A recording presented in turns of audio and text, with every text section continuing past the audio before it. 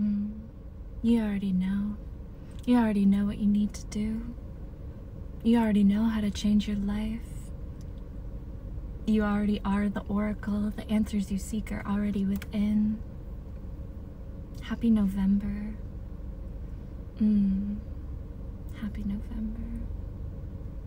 Every day, obviously, is an opportunity for us to change our lives, for us to feel better, for us to do the work we know we need to do.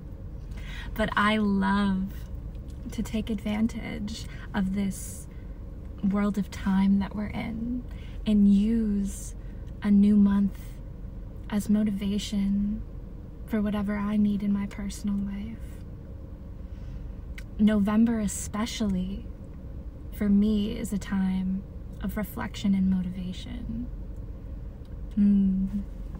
The 11th month of the year is just such an amazing time for reflection, for you to look at yourself and all you've accomplished this year, everything you've gained physically, spiritually, mentally, emotionally, because it's it's everything, right? And look at what you still know you need to do and release in your life. There's still 2 months in this year. And I know it, it might not mean much, but 2022, our dreams are coming true. There's still the opportunity to take advantage of the momentum of this year. 60 days, lots can change.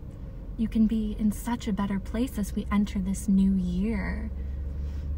Mm, I know I want to feel good. Mm, I want to feel good just like I should. And I want that for you.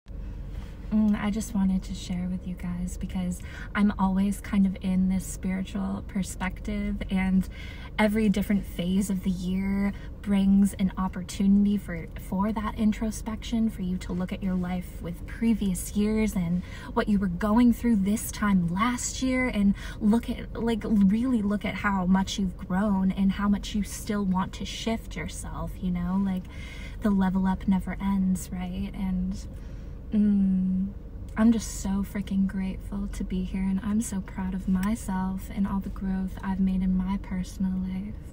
And I just hope you feel the same. Mm, I hope you feel the same.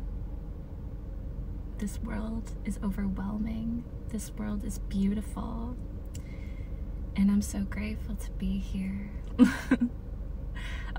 A little tip though, if you're not just constantly like in self-reflection mode, amazing ways to do it to help you kind of get into the introspection groove is you can do talk therapy. You can talk to the camera like I am or just put like a voice recorder on on your phone and just like rant and go off and talk to yourself in that way.